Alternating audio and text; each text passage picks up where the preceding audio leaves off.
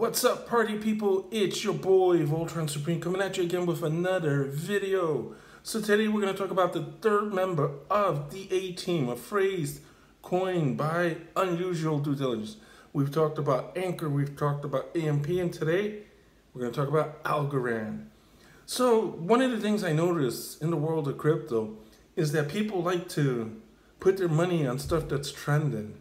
You know, if it's trending, it's, it's going to start getting a lot of money there's one problem. Lots of times people go into the project and they're going in when it's high. And then when the project consolidates, they're all upset, you know, because they're they're losing money because they they got in during FOMO. And Algorand's one of those companies that, hey, this is trending, this is cool, but this is being overlooked. And what what sector is being overlooked in crypto? Not many people are talking about it.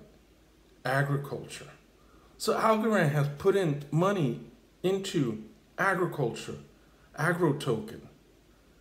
It's an area that's overlooked, but it's an important area. We all got to eat, you know. So they're they're they're looking at an opportunity that exists that no one's really looking at. So the Agrotoken is a company that's actually taking real life commodities, for example, soy and tokenizing it so that it can be traded in a DeFi manner. Because as crypto starts to grow, stuff is going to have to modernize and, you know, they're going to have to go crypto themselves, you know, because stuff is done the old way. And what does that mean? If you continue to do it the old way, you're going to be paying more. Why? Because when you go through exchanges, you know, brokers and all that stuff, there's a lot of middlemen involved.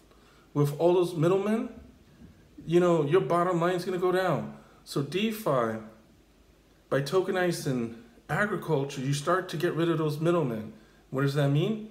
It means the farmers are making more. It means the buyers are paying less.